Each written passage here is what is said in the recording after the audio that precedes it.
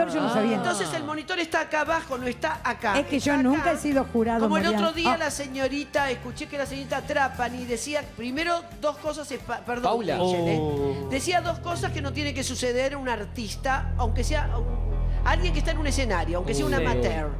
Dice que en un momento los miró a nosotros, muy mal. Ella tiene que hacer su, su cosa mirando a su compañero. No, para el público, público. no tiene cara, o en todo caso una cámara, que se supone Claro. que es el auditorio.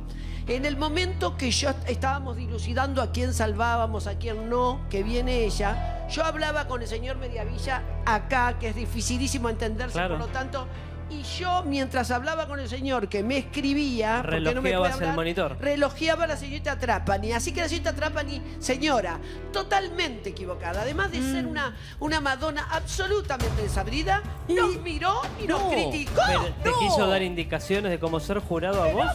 Por favor, no Menos sé si voy a que poder hoy no hablar en canta. latín. Menos mal que hoy no está porque si no ya tenía mala nota. Es de mal que no vino.